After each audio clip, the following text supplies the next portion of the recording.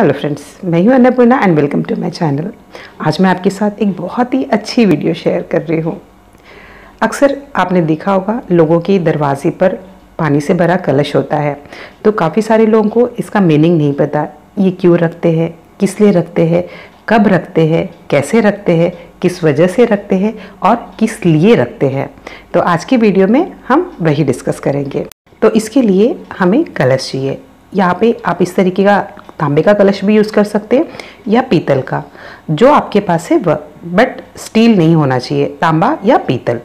उसके अलावा, फूल, यहाँ पे मैंने वही फूल लिए हैं जो मेरे गार्डन में थे मतलब घर में जो थे, मैंने वही यूज़ किया है। आप आपके पास जो फ्लावर है, वो यूज़ कर सकते हैं, जो मतलब रेगुलर आप पूजा में यूज़ कर सक, करते हैं, वो वाले फ्लावर उसके अलावा, ये है चंदन, हल्दी, कुमकुम, अक्षत, एक कॉइन है और ये है चावल का आटा इसको हम बाद में यूज़ करेंगे रंगोली बनाने के लिए।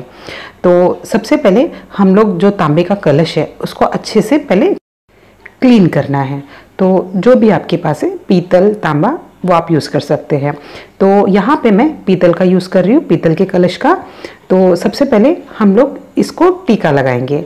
तो यहाँ पे ये चंदन है। चंदन में मैं थोड़ा सा रोज़ वाटर डाल रही हूँ। आप चाहो तो पानी भी डाल सकते हैं। तो ऐसा रोज़ वाटर डाल के इसको हम लोग गीला कर लेते हैं। इसके अलावा हमें शुद्ध जल की भी आवश्यकता होगी, जो हम लोग कलश में डालेंगे।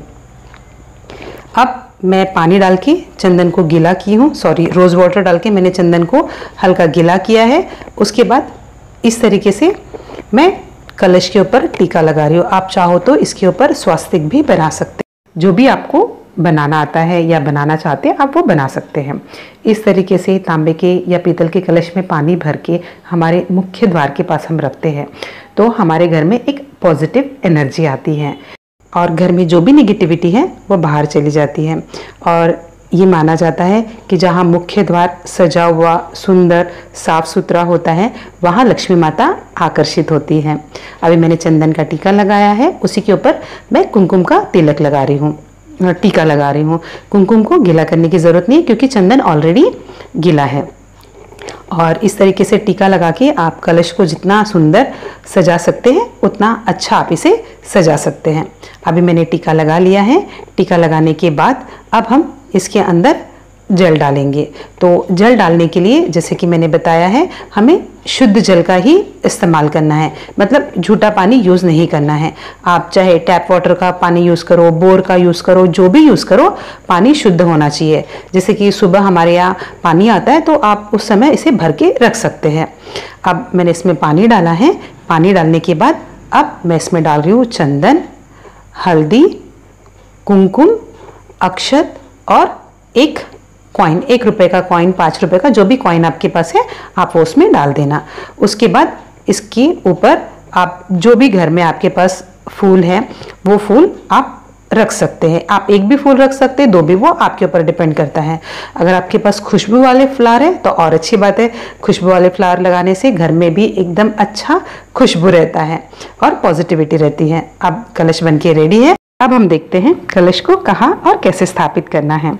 तो ये है चावल का आटा। चावल के आटे से मैं एक छोटी सी रंगोली बना रही हूँ। आप चाहो तो जो रंगोली है, उसका भी यूज़ कर सकते हैं। बट अगर चावल के आटे से डिज़ाइन बनाओगे तो ज़्यादा अच्छा है। और कलश को हमें डायरेक्टली ज़मीन के ऊपर नहीं रखना है। नीचे रंगोली बना के उसके ऊपर रखना है। अगर आपके पास टाइम नहीं है तो आप एक प्लेट रखकर उसके ऊपर रख सकते हैं। या पान के पत्ते के ऊपर या केले के पत्ते के ऊपर। बट नीचे ज़मीन के ऊपर नहीं रखना है। और अगर आप वर्किंग वूमन हैं और आपके पास टाइम नहीं है, आप रोज़ ये नहीं कर सकते हैं तो आप इसे वीक में थ्री डेज़ कर सकते हैं ऑल्टरनेट डे कर सकते हैं। इनफैक्ट आप इवनिंग में भी यही सारा प्रोसीजर कर सकते हैं, अगर आप वर्किंग वूमन है तो।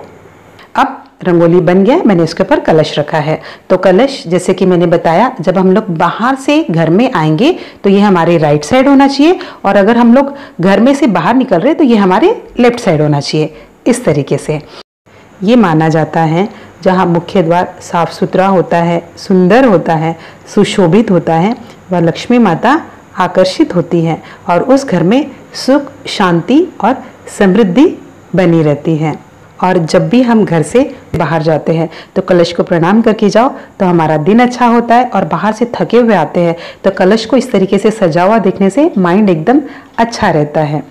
और इस कलश का पानी हमें तुलसी के पौधे में या किसी भी पौधे में डालना है, कहीं भी नहीं फेंकना है। फिर उसके बाद नेक्स्ट डे सेम यही प्रोसीजर करना है, कलश को अच्छे से वॉश करके, पानी भर के इसी तरीके से रखना है। जो हमारे फैमिली हमारे कल्चर में होता है, जो मैंने देखा है, सुना है, वो मैंने आपके साथ शेयर किया है। हो सकता है आपकी फैमिली आपके कल्चर में थोड़ा बहुत डिफरेंस होगा। तो जो भी डिफरेंस है, वो आप मुझे कमेंट करके ज़रूर बताइए। अगर आपको ये इन्फॉर्मेशन अच्छा लगा हो तो लाइक शेयर और सब्सक्राइब भी ज़रूर करें। Thank you